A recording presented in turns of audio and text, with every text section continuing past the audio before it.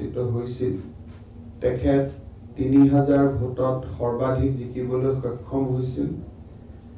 ৰূপজ্যোতি কৰ্মীৰো আমি যি মাৰ্জিন দেখিবলৈ পাইছিলোঁ তাৰ আগত আৰু যোৱা বিধানসভাত ফণীধৰ তালুকদাৰে তিনি হাজাৰ ভোটত জিকিবলৈ সক্ষম হৈছিল।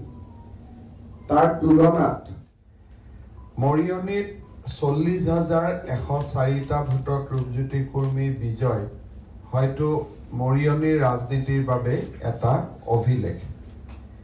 ঠিক সেইধৰণে ভৱানীপুৰতো পঁচিছ হাজাৰ ছশ একচল্লিছটা ভোট যিজন ব্যক্তি ছমাহ আগত তিনি হাজাৰ ভোটত জিকিছিল তেওঁ আজি পঁচিছ হাজাৰ ছশ একচল্লিছটা ভোটত জিকিবলৈ সক্ষম হৈছে। আমাৰ দুটা মিত্ৰ দল গোসাইগাঁও সমষ্টিত দহ হাজাৰ ভোটত যোৱা নিৰ্বাচনত আমি পৰাজিত হৈছিলোঁ। এই নিৰ্বাচনত আমি আঠাইছ হাজাৰ দুশ বাৱন্নটা। পিছত মই আপোনালোকক ক'ম আৰু চৈধ্য হাজাৰ ভোট হয়তো আমাৰ যোগেই হ'লহেঁতেন। আৰু তামোলপুৰত আমাৰ মিত্ৰ দল ইউ পি পি এলৰ জলেন দৈমাৰী প্ৰায় ছাপন্ন হাজাৰ ভোটত জিকিবলৈ আজি সক্ষম হৈছে। অসমবাসী ৰাইজলৈ বিশেষকৈ এই পাঁচটা সমষ্টিৰ ৰাইজলৈ মই মূৰ দোৱাইছোঁ। ভাৰতীয় জনতা পাৰ্টী আৰু আমাৰ মিত্ৰ গোষ্ঠীৰ প্ৰতি দেখুওৱা তেখেতসকলৰ মৰম আৰু আশীৰ্বাদক আমি শিৰত তুলি লৈছোঁ।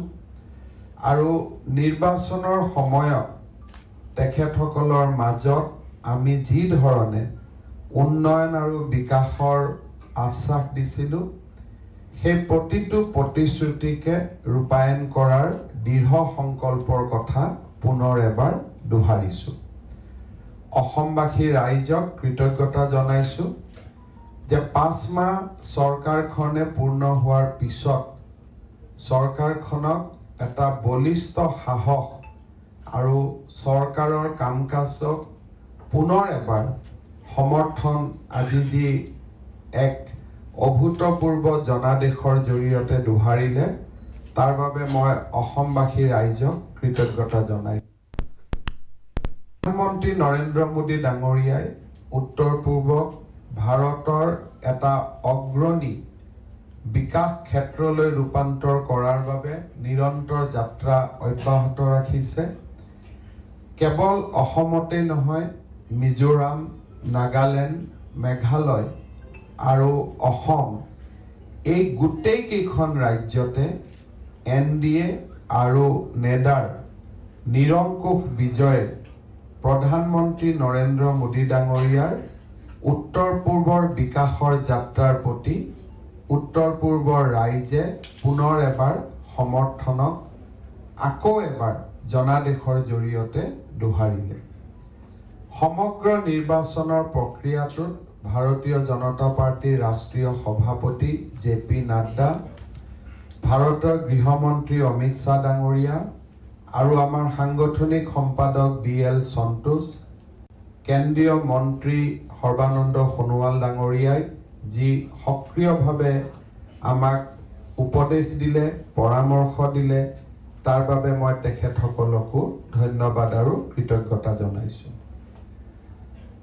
সাংবাদিক বন্ধুসকল এই নিৰ্বাচনত অসম গণ পৰিষদ দল ইউ পি পি এল দল আৰু গণশক্তি এই গোটেইকেইটা দলে অত্যন্ত নিস্বাৰ্থভাৱে ভাৰতীয় জনতা পাৰ্টীৰ বিজয়ক সহায় কৰিছিলে ইউ পি পি এলৰ বিজয়ত সহায় কৰিছিলে।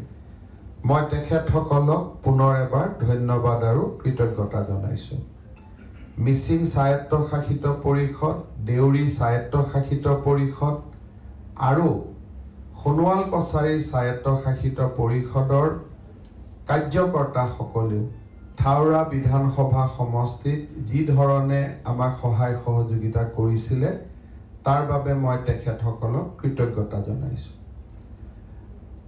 আমি আশা কৰোঁ যে এই জনাদেশৰ পিছত এই অভূতপূৰ্ব বিজয়ৰ পিছত ভাৰতীয় জনতা পাৰ্টী আৰু মিত্ৰ গোষ্ঠীয়ে নিজৰ নিৰ্বাচনী ইস্তাহাৰ আৰু জনসাধাৰণৰ প্ৰতি দিয়া প্ৰতিশ্ৰুতিসমূহ ৰূপায়ণৰ বাবে আমি আকৌ এবাৰ দুৰন্ত গতিত আগবাঢ়িব পাৰিম।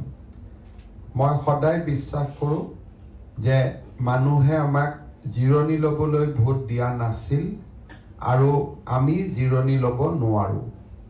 আমাক জিৰণি লোৱাটো মানুহে নিবিচাৰে আৰু আমিও জিৰণি ল'ব নিবিচাৰোঁ। এক দুৰন্ত গতিত অসমৰ বিকাশৰ যাত্ৰা ভৰিখন মাটিত থৈ হাতখনেৰে আকাশ চোৱাৰ মন লৈ আমি আগবাঢ়ি যাম আৰু এই জনাদেশৰ জৰিয়তে পুনৰ এবাৰ আমি ৰাইজৰ যি আস্থা পালোঁ ৰাইজৰ যি মৰম পালোঁ ৰাইজৰ যি আশীৰ্বাদ পালোঁ তাৰ বাবে মই অসমবাসী ৰাইজৰ ওচৰত পুনৰবাৰ বিনম্ৰতাৰে সৈতে মূৰ দোৱাইছোঁ আমাৰ এই বিজয়ৰ আঁৰত ভাৰত